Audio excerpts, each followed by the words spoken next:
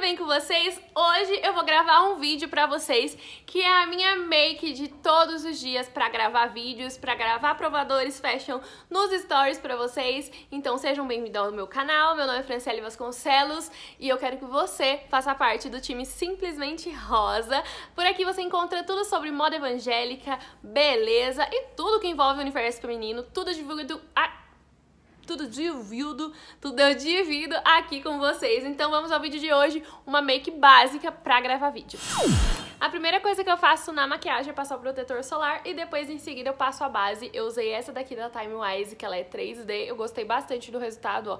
Eu passo dando batidinhas então você escolhe uma base que você goste e que dê certo a tonalidade da sua pele, passa, aplique. Eu dou a dica de passar com esponja porque eu acho que fica mais natural e é mais fácil a aplicação também, mas você pode aplicar da forma que você preferir. O segundo passo da make é o corretivo. Eu gosto sempre de usar um corretivo líquido. Vou, usar, vou olhar aqui na câmera, na tela do celular, que eu tô usando de espelho. Olha, eu faço assim, pego a esponjinha também e faço aplicação dando batidinhas no olho todinho. Olha só, eu tô usando a luz natural, por isso que tá escurecendo e clareando. Mas é isso, passo dos dois lados. Esse corretivo tá acabando, gente, eu gosto bastante. Ele é da Dazzle, do grupo Rinode, ele é muito bom. Vou deixar todos os produtos listados aqui abaixo com o link de site de compra para facilitar para vocês. Olha só, aplicou? Aplicou. Pego em algum lugar que tenha uma espinha, por exemplo, aqui, e dou batidinhas também. Agora vem a hora do pó. Vou usar esse pó aqui. Eu gosto de usar mais é, pó solto, mas eu acabei pegando esse daqui que é legal também, porque ele já tem protetor solar. Ele é da marca... Caiu a tampa, olha só. Ele é da marca Arago. Eu gosto bastante, ele é bem bom mesmo. E eu gosto de acumular um pouquinho ele aqui. E o restante eu espalho com o pincel gordão. Esse.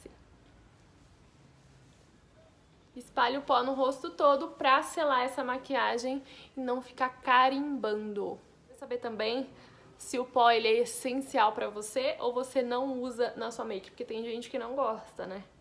Eu não vivo sem, no caso. Pra corrigir a sobrancelha, eu uso esse quartetinho, que na verdade só restou dois, né? Porque esse daqui que é um gelzinho que eu nunca uso, e esse daqui que é o iluminador caiu e quebrou. Então, assim, no caso tá bem detonado, gente. Eu venho aqui, ó, no final da sobrancelha e vou preenchendo com mais escuro. E o início da sobrancelha eu preencho com mais claro. Olha só, vou fazer um antes e depois, vou fazer só essa sobrancelha de cá pra vocês verem o resultado. Olha só esse antes e depois, o tanto que essa sobrancelha, ela fica bem mais preenchidinha, deixa a sobrancelha mais arqueada mesmo e fica muito mais bonito o olhar. Lembrando que eu tenho microblend na sobrancelha, mas mesmo assim eu preencho ela porque eu acho que em fotos e em vídeos fazem total diferença.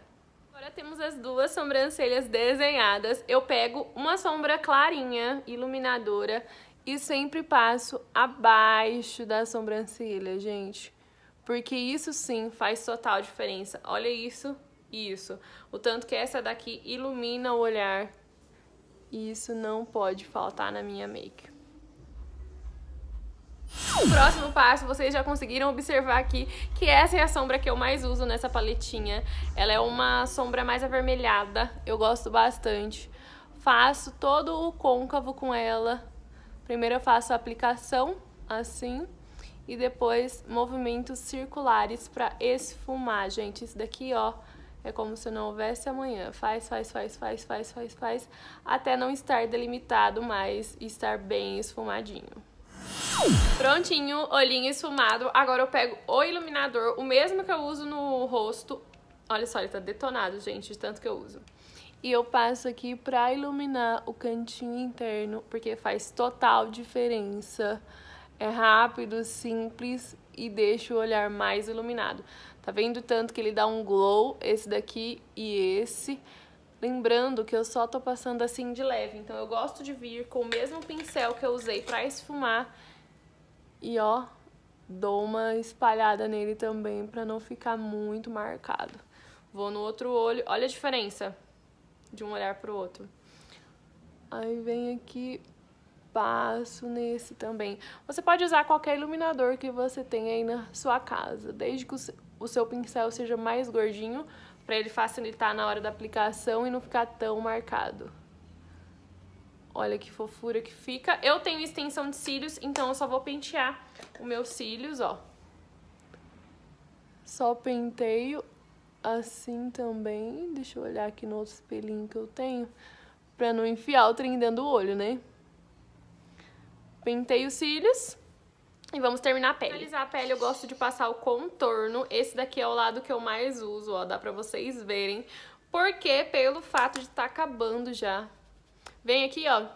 Pego do final da orelha até aqui. Espalha bem pra não ficar marcado.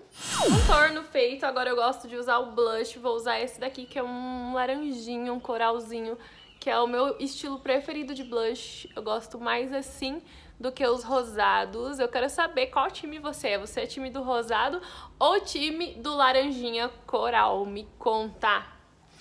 Olha só, dá uma exageradinha na saúde. Se tem uma coisa que não pode faltar na minha maquiagem é iluminador, gente. Eu uso e abuso, porque eu amo. Acho que faz total diferença. Olha só isso, uma pele iluminada é tudo.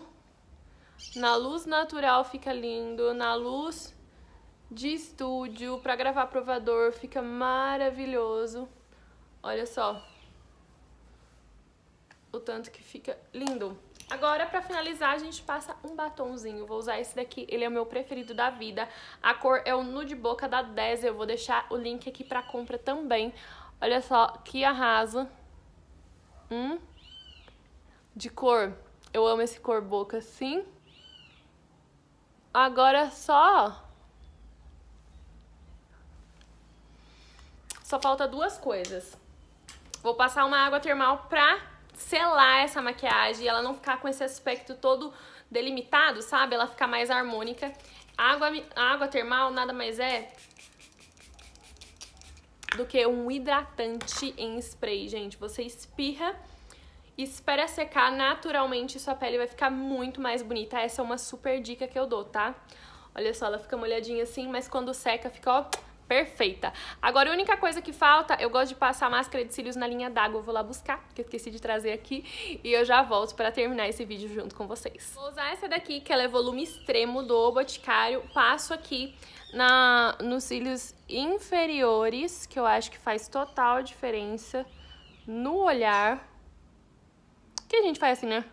Quando tá passando.